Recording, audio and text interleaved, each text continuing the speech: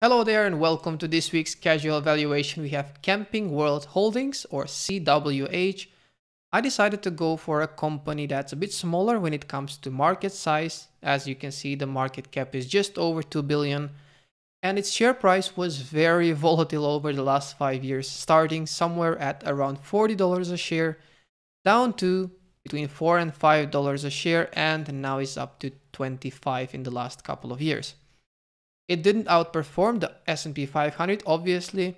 However, of course, if someone bought at this low of four, five dollars a share, then it's a return excess of 500%, especially taking into account that there's also a dividend at the moment at over 9%. So I want to cover all the good parts about the company, also some of the risks that I see, and uh, I hope that you enjoy this video. If you have any questions or comments, well, you can always use the comment section below.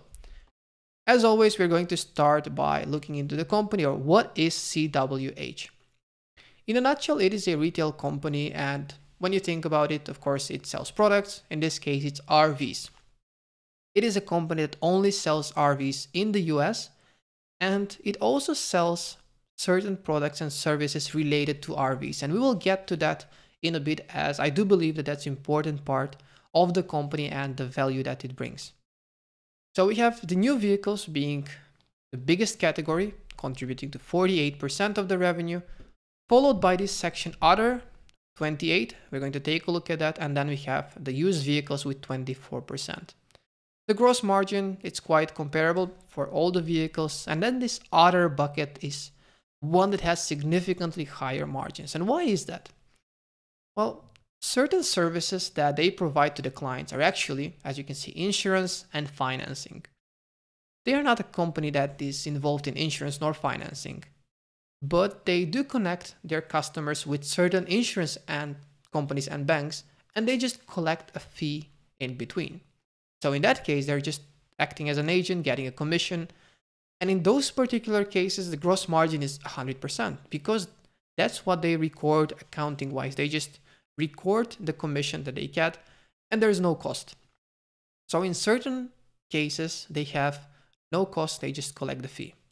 In other cases, they have membership that the RV owners can purchase, they pay monthly, and at some point when they encounter certain unpleasant events, such as one where roadside assistance is needed, in that case, this service is being outsourced. So again, CWH as a company doesn't perform the service, um, and the, of course, what they make as money is the difference between the membership that they get every month and what they pay to these third-party companies to solve whatever pops out as an issue. That's important because this other segment is, as you can see, quite significant, both in revenue, but if we take a look at the gross profit, of course, then it becomes even more significant. However, for the company to continue getting paid from this last segment, especially from insurance and financing, they need the first two segments, so they need to sell RVs. Without that part, of course, there's nothing to insure or finance.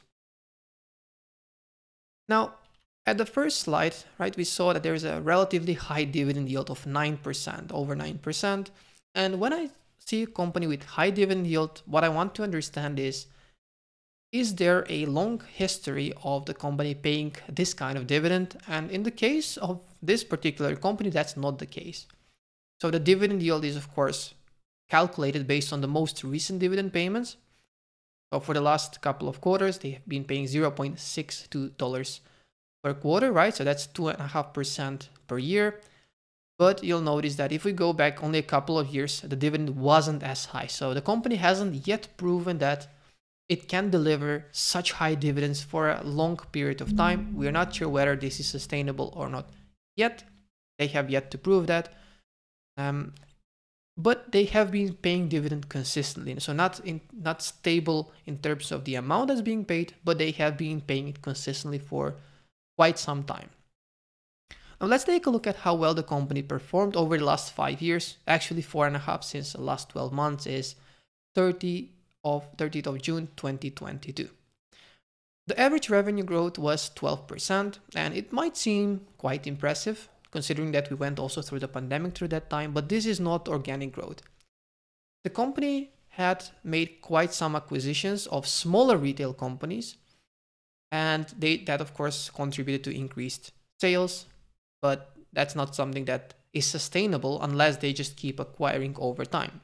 So organically, the growth wasn't that impressive, but we wouldn't expect it, right? If we have one retail location, we expect kind of similar number of, of RVs being sold every single year, assuming the environment in which they operate remains stable. Now we had the impact of pandemic and we saw in the share price it plummeted significantly. But if we take a look at the revenue, we don't see that dip. And that's exactly why the share price rebounds right back in, right? Because the financials of the business remained stable, remained constant. They, they didn't dip. Maybe it's also the stimulus checks that had an impact there. So the citizens didn't postpone the purchase of a new RV or, or a used RV.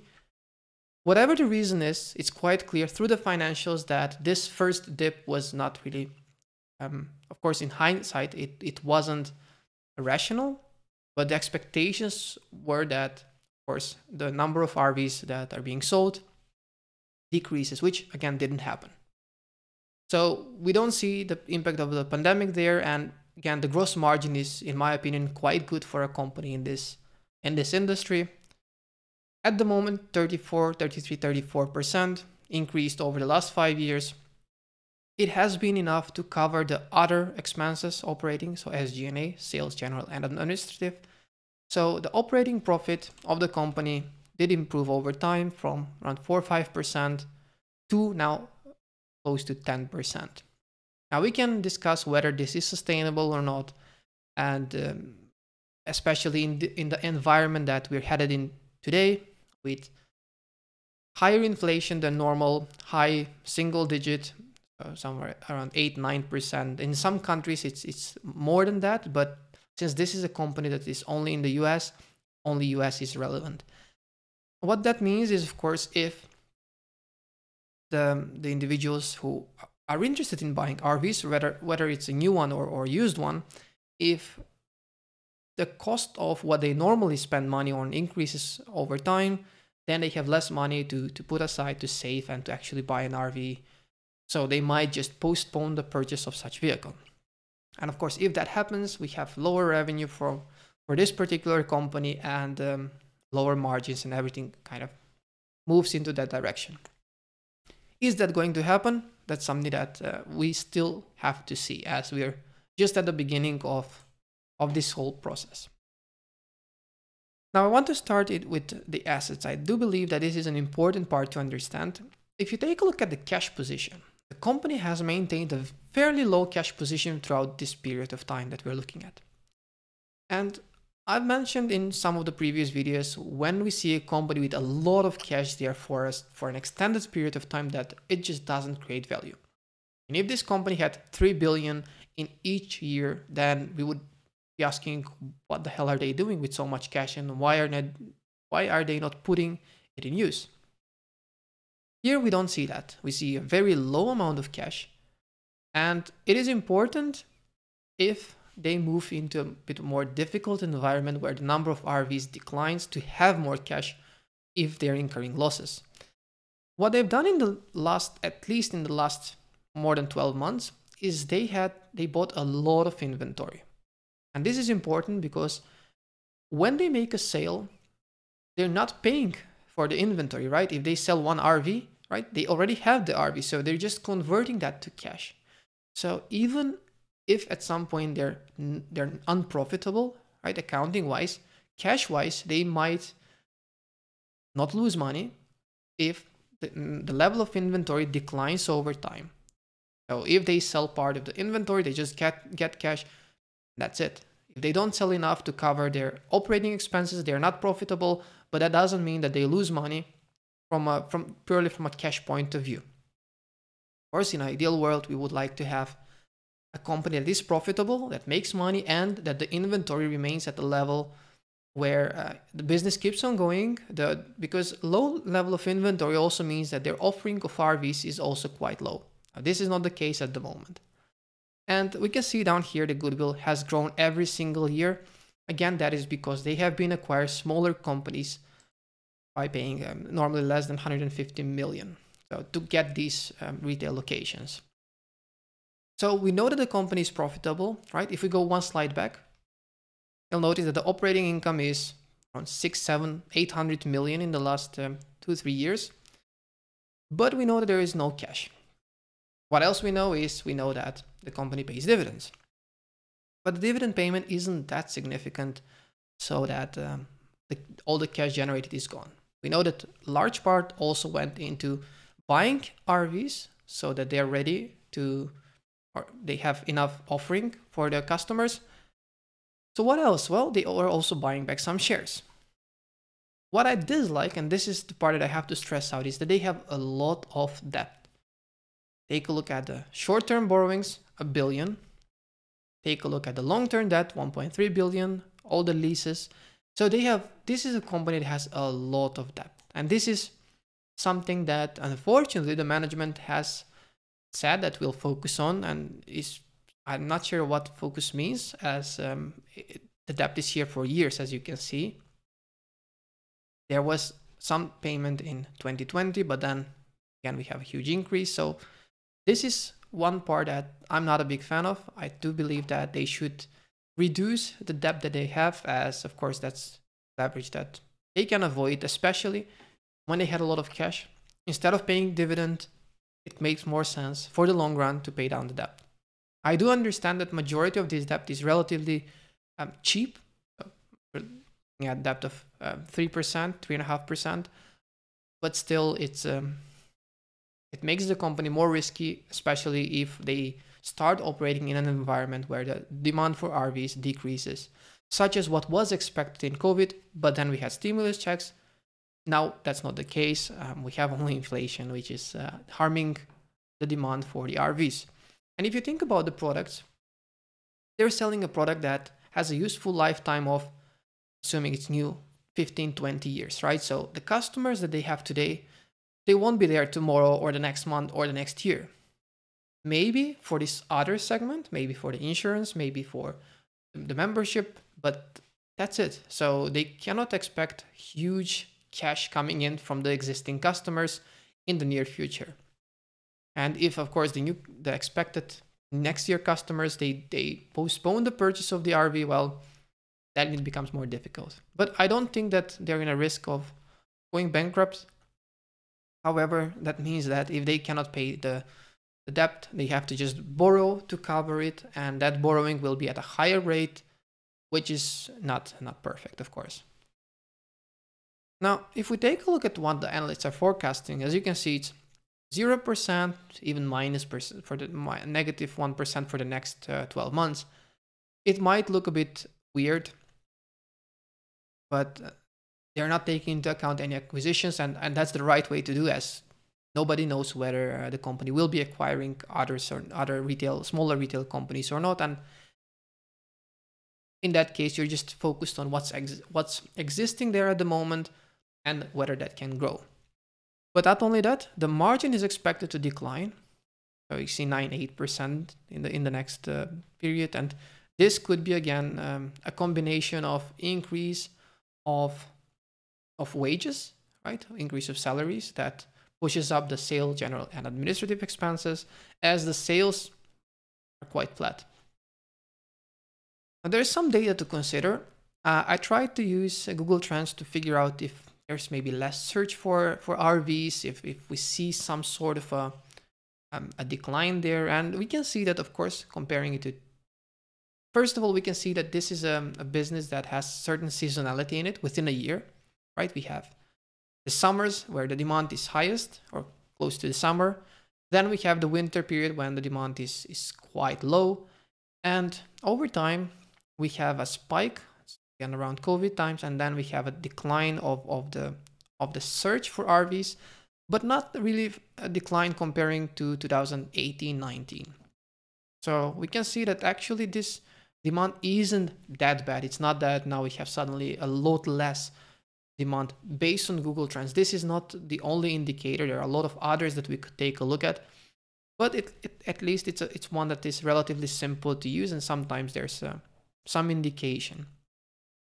The second part is, as you can see, for the global RV market, it is expected to grow at 6.7% in the next um, six years it's I, there was no data available for, for the US, so I'm not sure whether that will also translate in the US or not. But assuming that um, US follows the same path, then we should expect that um, the, the market size follows the same trajectory. But we could definitely be wrong, and especially as you can see, this is uh, this is uh, research done probably in 2020, so it was also before the the, before even the fears of, of recession started. So here are my assumptions. I know that at the moment there's 7 billion um, in revenue that they have. I'm assuming that they don't grow at all for the next 10 years and even after that. So that is my worst case scenario that company doesn't grow at all. And also in the next five years, the margin declines again because of everything that's happening in the economy. And then it rebounds to 8%. So not the 10% where they're at today, but 8%. And again, if they perform better, it's not a problem, but I want to keep it a bit more conservative. Because they have high debt, a lot of leverage, we saw these huge movements in the share price, and that reflects also in the beta. 2.73, so high cost of equity. And you can see here that 60% of basically the financing is through debt. But the debt is relatively cheap, at least at the moment. So they, they need to make a decision whether to really decrease that or or to continue going with it. I hope that they'll choose for with the first option. And that brings the weighted average cost of capital a bit down, so 8.5%. And if they move into the path that they're expected to, decrease the debt, then of course that we have also lower beta in the long run as we have a company that's less risky for that reason. So the weighted average cost of capital, as you can see, I've decreased to 7% assuming that beta over time decreases a little bit. So not to one. I don't think it's fair to expect that this is this will be as a company as average when it comes to the risk as any company or, or the average company in the market, but a bit uh, less average than it is today. If that happens, of course, we have the revenue not growing at all, right? 0%. Then we have the earnings before interest and tax. That's what we had at 5% and then at 8% as of year six. Additional reinvestments, I know that this might seem weird, why it's zero. This is additional reinvestment that's needed for a company to grow, but in this case, there's no growth. So the only reinvestment that they need to do is kind of to offset the depreciation amortization that they have at the moment, but that is already included in the EBIT or the interest before in income, before interest and tax as depreciation and amortization has already um, been there excluded. So we are assuming that they're investing as much as the depreciation amortization and there's nothing additional on top of that. So this is how the free cash flow would look like. Again, this is much lower. Also, if you take a look at it, bit much lower than we're at today. We saw that on the graph, we have six, 700 million in EBIT today, but I'm preparing if there's um, a bit of a worst case uh, in the future. And I'm not sure how long it will last. So I'm just using five years that's my worst case. Uh, and again, I could be significantly wrong in, in that regard as well.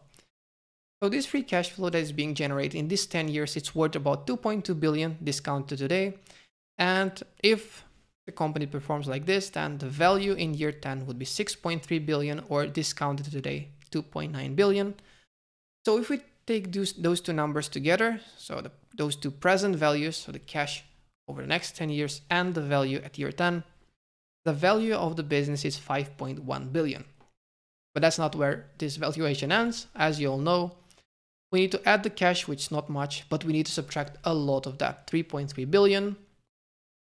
There's some equity options, so not much. There is not really a lot of share-based compensation in the company, 30, 40 million a year and in the last years.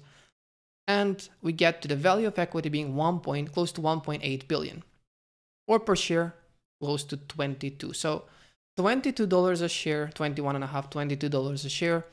It's still a bit below where it's currently trading at, but I'm using really conservative assumptions. And um, of course, the, the $4 a share at, at COVID was